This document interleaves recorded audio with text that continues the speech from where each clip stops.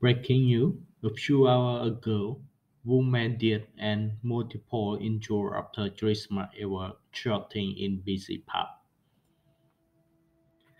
A woman has been shot dead and three men have been hospitalized after a shooting at a pub in Wallasey. Police were called just after 11:50 p.m. on Christmas Eve to the Lighthouse Inn in Wallasey village following report of gunshots.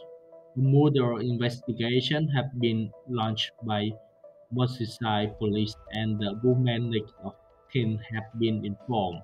A number of others were also injured in the shooting near Liverpool and the area have been cordoned off as officer carry out inquiry.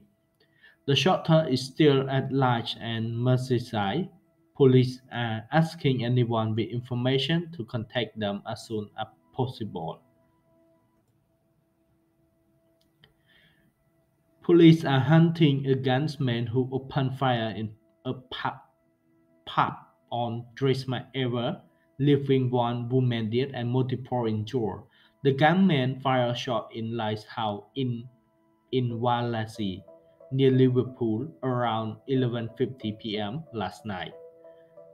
Merseyside police confirmed a young woman was taken to hospital with a gunshot injury and later dead. Three other men were also hospitalized with gunshot wounds and a number of others were injured in the incident. Police say the shooter fled the scene in a dark color Mercedes. Anyone with information about the incident or gunman whereabouts is asked to contact authority immediately. Detective Superintendent David McCaughrean said the shooting happened at a busy venue of young people. A woman dead and several others are being treated in hospital. Investigators currently remain on scene, carrying out extensive inquiries to understand exactly what had taken place and take immediate action, Deputy McCaughrean um, said. He also appealed for anyone who witnessed the incident to come forward.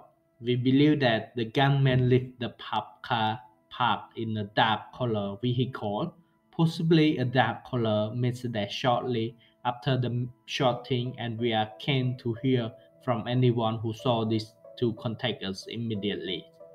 The officer said I would ask anyone who was in the Lighthouse Inn Wallasey Village last night who witnessed the incident or have mobile or CCTV footage of what happened to contact us as a matter of urgency as that may have information which is vital to our investigation.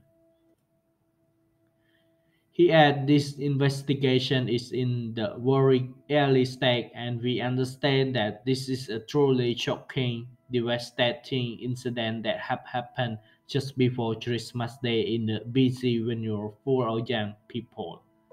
Police say the woman family have been notified and are being supported by specially trained officers that serve McCaughrean added that Merseyside police thought and condolences are with the victim family, Holy Apostle and Martyr Parish Church in Wallasey also issued their support for the victim family and the community. The church tweeted that special prayer would be said at Mass this morning for all the shooting victims. Ashville, football club also took to social media to condemn the senseless act of violence that club officials say has sadly been all too common in Merseyside this year. The incident has sent shock waves throughout our neighborhoods and local community and uh, are saddened and appealed by this incident, the club statement said.